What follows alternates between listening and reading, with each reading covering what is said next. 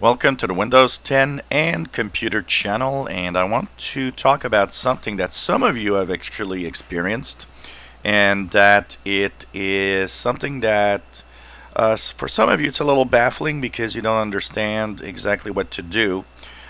so of course I always say to everybody don't force update any uh, computer. Wait for it to be offered an update to the latest version of Windows 10 and then if you decide to upgrade, well, go for it.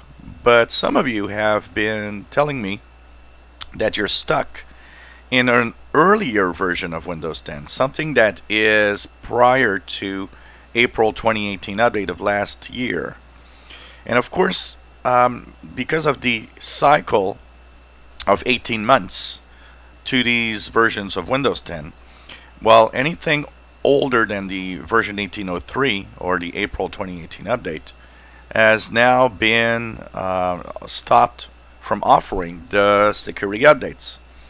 Uh, these security updates do exist. It's just that they are not, they are offered for enterprise users um, only uh, that have long-term support contracts. So of course that means that you're not getting Windows security updates and a lot of you, a couple of you actually, uh, have asked me, well, what do I do? I've never been offered a upgraded version of Windows 10. Um, what do I do? Well, one thing for sure is you can't stay to a version that's not updated because every month with the security updates that are added, you're more and more vulnerable to attacks and problems. So that of course means that you should move on to a Windows 10 version. Um, what I would recommend, honestly, is now, why have you not been offered?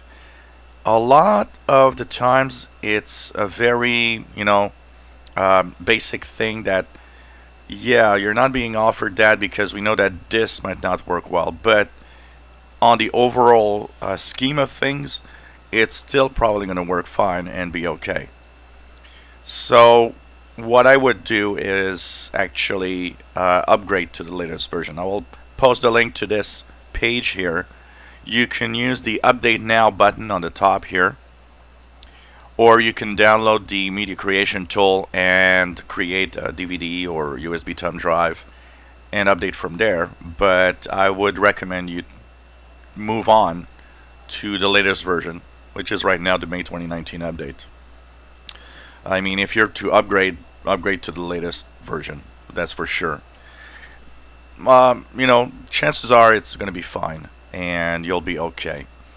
By using the upgrade process, what could be interesting is you'll be notified if really something important prevents it from being updated.